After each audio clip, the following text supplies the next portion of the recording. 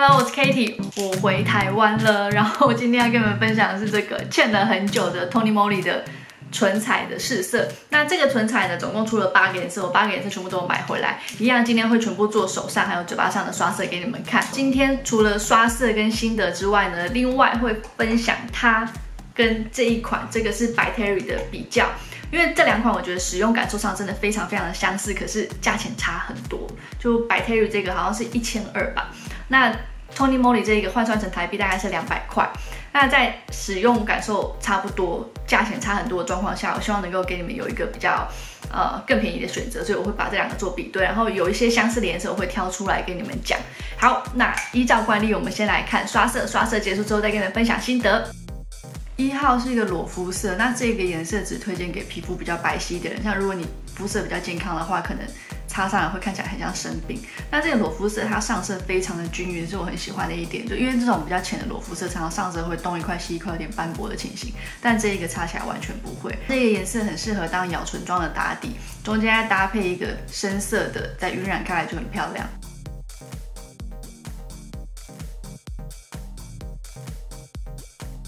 二号色是一个裸粉色。这个颜色一样，只推荐给皮肤比较白皙的人。那白皮肤的人擦起来会非常非常的显气质。同样的，这个颜色也非常适合拿来做咬唇妆的打底。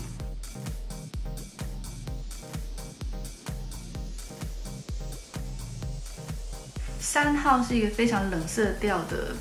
藕色，那这个一样是比较适合皮肤白皙的。那你要比较。确定你是适合冷色调，像我自己本身是不太适合冷色调，我觉得擦这个颜色看起来就很像中毒或生病。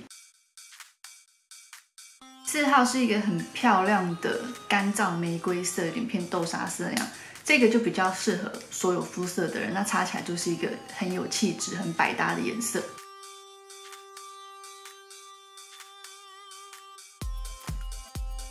因为这个颜色我喜欢擦了之后稍微把它压掉一点，然后上面叠擦上一点透明的唇蜜，这样擦起来很可爱。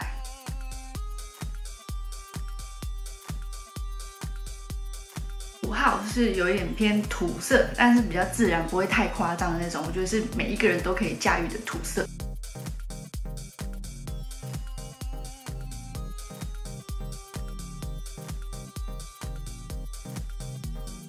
六号也是土色调，可是它比较带有红感，就擦起来会有点像红棕色。那这个颜色我觉得擦的太死硬的话，看起来会有点老气，所以我会擦完之后用手指把唇线边缘有点雾化，把它晕开。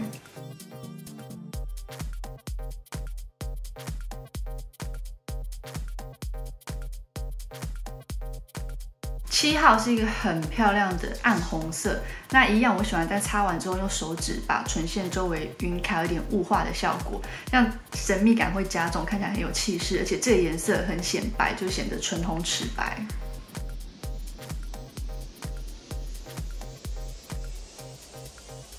八号是一个比较欧美感的那种焦糖裸色，它偏比较深的那种裸棕色。如果想要试试看这种比较欧美纯色的话，可以买这一支。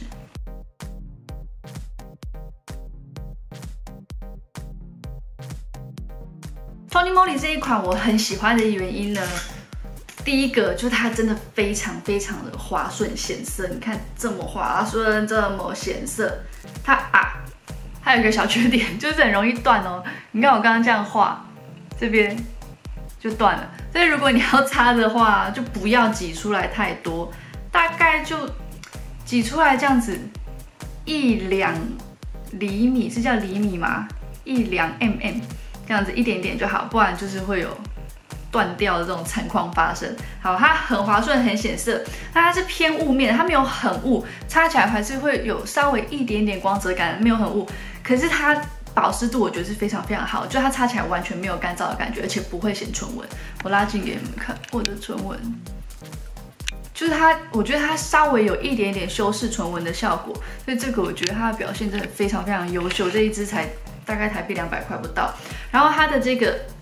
笔的形状啊，非常非常容易使用，这样扁平型的。那你如果要画唇周描唇线的话，就用窄的这边这样去描。那如果你要大范围的填补整个嘴巴的颜色呢，就用宽的这边这样大范围填补也很快。所以这个的笔的形状我非常非常的喜欢。那我前面说它跟 By Terry 这一支的使用感受很像啊，是第一个它们的形状就是怎么讲，笔形的设计都很相似。By Terry 这个是水滴型的，那 Tony Molly 这一个是这种扁平细长型的。By Terry 这个水滴型它的好处是。很好描唇峰，就如果你很喜欢唇峰那种有尖尖的感觉啊，这个这样非常非常的好描。那这个一样，它也是非常非常好描唇峰。那 Tony Tony Moly 这个还有一个好处，就是因为它整个是扁平的，你还可以完整的描出唇线。那 By Terry 这一个是水滴型的，它等于说接触面就会稍微宽一点，它要描唇线的话就要比较小心。所以这两个的形状我觉得都非常的好。那 Tony Moly 有稍微略胜一筹，可是这样子扁平型有一个小小的缺点，就是因为它太扁了，然后唇膏又有点软软的，所以很容易断。那除了都有特殊形状设计之外啊，他们的那个唇膏膏体本身的使用感受非常像，就是这一个是刚刚我刷的那个 Tony Moly 这一个嘛，那白泰瑞这个画给你们看，你看它一样都是这种偏雾面的，然后颜色非常非常饱和，非常非常的滑顺，不同的地方是。我之前介绍白 Terry 这支的时候有说过，就是这一个品牌它特别厉害就是调色的部分，它的颜色真的质感非常非常的好，就一看就是那种精品唇膏的颜色。那 Tony Moly 这个呢，就是整体不错，然后颜色的话就是也是算漂亮，可是不会说你看到会觉得是哇是一个精品唇膏的颜色。我觉得最大的差异是在这里，其他用起来真的是没有太大的差别，就两个的质地还有滑顺度、显色度，呃。修饰度、还有滋润度、持久度都是差不多的。那我在这两款当中呢，找到了三个双胞胎，应该可以算是双胞胎吧，因为颜色真的非常非常的相似。这个是 Tony Moly 的二号，是那个裸粉色的，然后这个是白 Terry 的，也是二号，就是他们刚好色号是二号，就觉得 Tony Moly 好像是有点冲着白 Terry 来的。好，你看这个，下面这个是白 Terry 的，他们的差异是。这样这样涂应该就看得出来，你看白 Terry 的颜色比较饱和，比较漂亮，然后 Tony Moly 的就是，嗯，我不知道怎么讲，就是有种质感上那种很细微的差异。这两个颜色呢相似，可是没有到完全一样。就 Tony Moly 这一个比较有点带粉，然后白 Terry 这个是比较带藕色的，然后这样也应该稍微看得出来，就 Tony Moly 的呃比较有一点点光泽，白 Terry 的。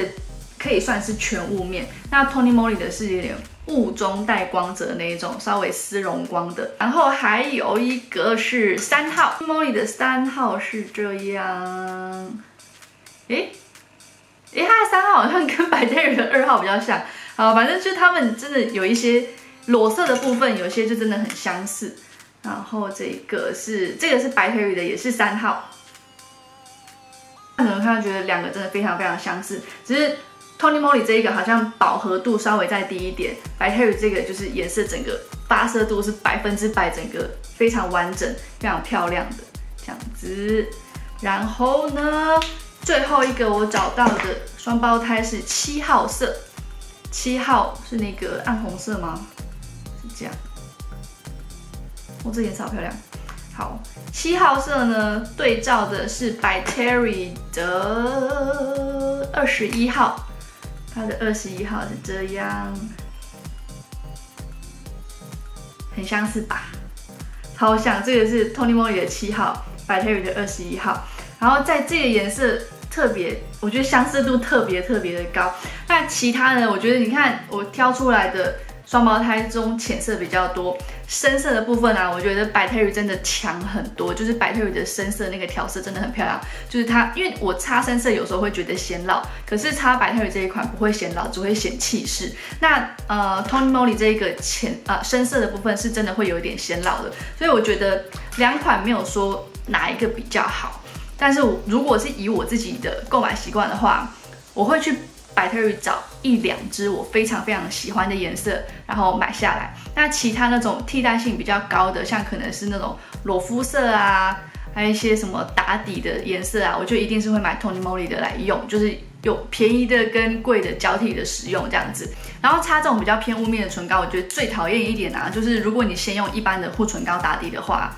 再叠上这种雾面的唇膏，就会改变它的质地，它就会变得一点都不雾面，有时候可能还会变成那种油亮油亮的感觉。所以擦这种比较偏雾面的唇膏，我都会用这个 MAC 的这个唇膏打底。那它基本上呢，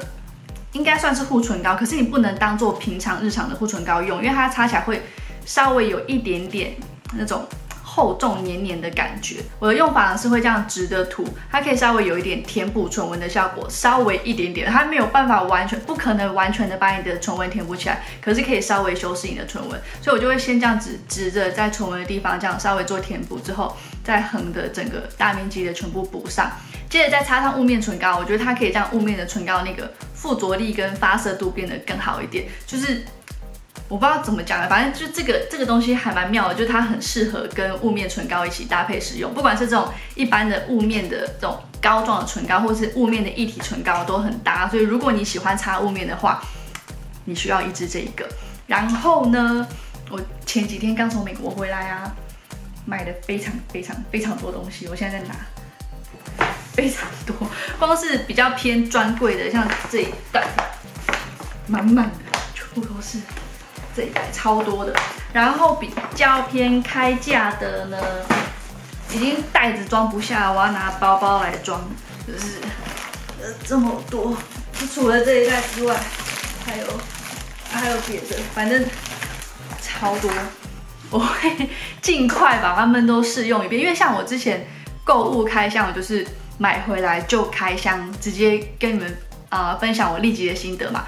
我最近觉得这样子好像有点不够完整，因为我开箱就也可能就只是秀一下，说哎呀我买这个我买这个，我觉得这样有点没有意义，所以我希望我能够先稍都稍微大致用了一下，这样开箱的时候可以跟你们分享心得跟刷色，这样子会影片的内容会比较完整啦。好，那以上就是今天的 Tony Moly 的唇膏试色还有心得分享，希望你喜欢今天影片，也不要忘记订阅我频道，拜拜。这个我买了一支，我很喜欢，我之后会去多买一些，回来再就是分享刷色给你们看。这个我觉得真的非常好用，你看一下它颜色很可爱，像垃圾，有没有？颜色超可爱的，这样子粉嫩嫩、清透的粉红色，然后又遮得住唇色，滋润效果也不错，就是一整天擦这个 OK，不会觉得干。